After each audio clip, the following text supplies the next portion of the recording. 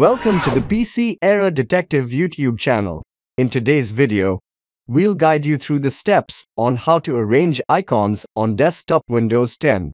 If you find this video helpful, please subscribe to our channel for more tech tips and tutorials.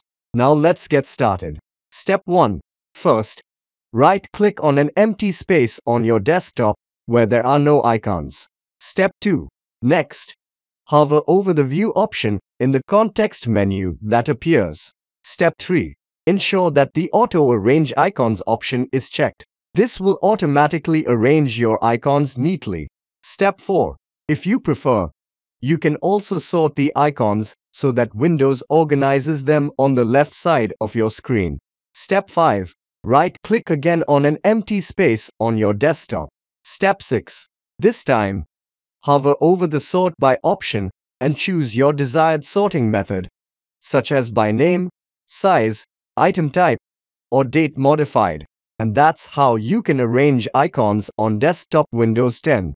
If you enjoyed this video, don't forget to like and subscribe for more helpful content. Thanks for watching and see you in the next video.